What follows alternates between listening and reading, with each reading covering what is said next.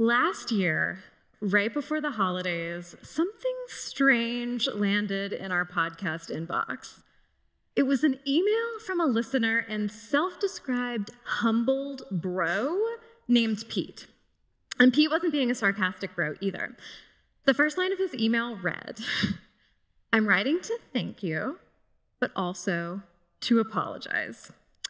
Now, over the years, we've received our fair share of thank yous and screw yous, but um, unsolicited apologies, those are pretty rare. Pete told us that he'd sent us some sexist messages in the past that he now regrets. He wrote, I can only imagine the toll people like me took on you having to respond to ragey emails with, yes, we know, hashtag not all men.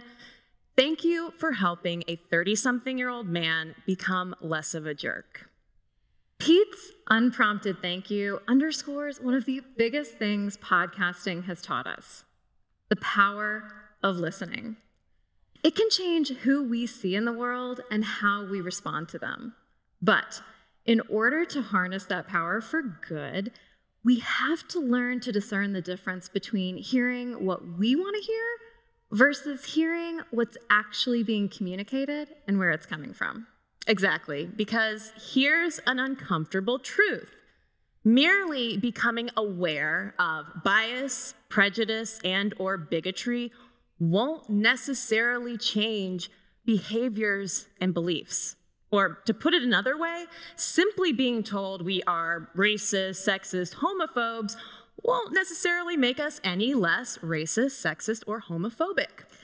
In fact, it'll more likely have the opposite effect, and that opposite effect is called confirmation bias. That's academic speak for our tendency to think we know more than we actually do. And thinking we're right roadblocks curiosity and listening. So the problem isn't so much that we're, we don't all hold the right perspectives and values. The problem is that we're not making space for the messy realities of reconciling our differences for the greater good. And that's what we want to talk with y'all about today. In a time when it is arguably harder than ever to really listen to one another, how can we take off our figurative earmuffs, take personal responsibility for our own filters, and tune into the truths that can help all of us become humbled bros too? I'm Caroline Ervin. I'm Cristen Conger, and we are longtime podcasters, professional woman splainers, and hosts of the podcast Unladylike. Through storytelling, research, and interviews, we specialize in excavating gender constructs, challenging whitewashed feminism, and not taking norms for granted. And that applies to everything from how we make our body hair choices to why we haven't ratified an equal rights amendment. if a decade of research on women and gender has taught us anything, it's that we still have a whole lot more to learn. That knowledge keeps pushing us to do better. And so does our audience. Listening to our listeners and letting them know they're heard is what cultivates an audience into a community. And sometimes that's easier said than done because it can come with hearing some uncomfortable truths and criticisms. Pete was right that being feminist podcasters can mean regularly reckoning with what a polarized, hot mess of a time we are all living through. Cable news pundits give us politics without context. Social platforms give us hot takes without compassion.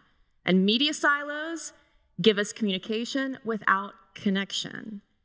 In fact, less than half of Americans trust traditional media sources, including journalists, reporters, and news organizations. So, what can we as individuals change? We can change ourselves. What we listen to, how we hear it, how we respond. Take us, for instance. As y'all might have noticed, we're white. We're also cisgender, able bodied, UGA educated, and we benefit from all of the unearned privileges that those identities endow. And if y'all just rolled your eyes at the term privilege, you probably benefit from some too. privilege can cloud our credibility as hosts. For instance, in the early 2010s, when we first started covering trans identity, a trans listener kindly wrote in to correct us for using the term transgendered as if it's a medical condition. Or, more recently, we heard from a listener about an offhand STD joke that I made in an episode. She shared that she has herpes, and often the stigma associated with it is far more painful than the physical symptoms. So, hearing me make that thoughtless remark really stung. Our audience continually pushes us to work harder, to do better. They've actually inspired our unladylike motto, which guides pretty much everything we make, and we think that it can help all of us hear each other more clearly day to day. It goes stay curious, build empathy, raise hell. So let's start at the very beginning. Step one stay curious.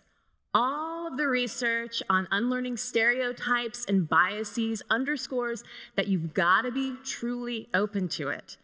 It requires an attention span for awkward silences and unsettling reality checks rather than talking over and tuning out. And we are tuning out. According to the Pew Research Center, as of late 2019, 45% of American adults say they'd stopped talking political or election news with someone because of something they said or posted online. And that is true across party lines. Curiosity, on the other hand, is the engine of creativity, compassion, and connection. It's the fly in the ointment of the status quo and the itch to keep challenging ourselves to do better. It's also our go to answer for unladylike listeners like Sophia, Sophia DM'd us on Instagram and said, I am a proud 12 year old bisexual and genderqueer feminist living in Sonoma County, California. I have always shut down any bullying against any minority as soon as I see it. I know I'm only 12, but how can I do more? Y'all, mm-hmm. Sophia also told us she'd started an LGBTQ plus alliance at her school and plans to become a civil rights attorney when she grows up. So we should probably be going to her for life advice. But we really encourage Sophia to stay curious because it's important to figure out not just what you stand for, but also why or why not. Clarifying the context is what helps make sense of what scares us. Maybe it's a fear of change, of being judged or misunderstood. By grounding ourselves in history, cultural influences, and a healthy dose of media literacy, we are better prepared for step two building empathy.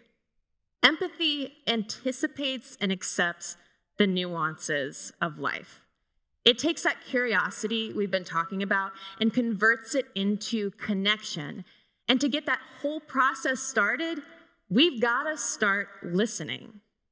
If face to face interaction can't happen, research also suggests indirect contact can help reduce biased behaviors and related anxieties. I mean, that's part of why podcasting is one of our favorite empathy exercises.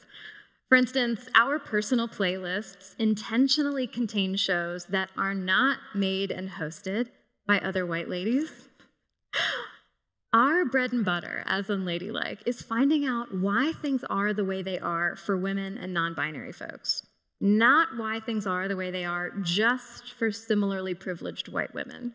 Yeah, one example that always comes to mind for me is a light bulb moment I had while listening to a podcast called Small Doses. The specific episode was titled Side Effects of White Women, and it really laid bare the stereotyping, undercutting, and yes, hair touching that Black women deal with from white women, well meaning ones included. Parts of it were tough to listen to because I have been that problematic white lady before. It also revealed a blind spot. Unladylike had just published an episode on workplace sexism, supposedly the primary occupational hazard for women, right? Yet on small doses, I was hearing not just about glass ceilings, but also constant tone policing and marginalization that Black women were also dealing with in their nine to fives. On the path to dropping our defensiveness and staying curious, we have to practice being accountable for our slip ups. Sociologists call this self confrontation, and it's basically like breaking a bad habit. Over time, if you continue to confront yourself, you can replace biased behavior with a more curious, empathetic outlook. And we're not just talking about your podcast intake either. Relearning to listen can start as simply asking yourself in my day to day, who do I listen to? What do I hear? How do I respond? The answers can activate step three raising hell. By raising hell, we mean getting comfortable with getting uncomfortable. And that's what happened for an unladylike listener named Joanna. She'd spent the past couple years waffling over whether to run for elected office, but figured she just couldn't pull it off. Then, after listening to an episode on how and why women tend to feel less ready to become political candidates than men, Joanna's waiting game was over. I've decided to run, she wrote us. I'm starting my bid for the county commissioner seat. Raising hell can look like pursuing public office, and it can also look like pursuing deeply personal revelations. And that brings us back to our humbled bro, Pete. In his email to us, he said that there had been times in what we'd said on the podcast, you know, he disagreed with. There were also times that things we said made him angry. Whatever changes happened in Pete, we don't take credit for it. That was all Pete. He stayed curious, built empathy, and raised hell when it came to his perspectives on women and sexism. Yes, the world is noisier than ever. But if what you hear makes you feel anxious, upset, or misrepresented, take it from Pete and us two humbled podcasters. Those are opportunities to learn, to take responsibility, and to become a better listener. Thank you.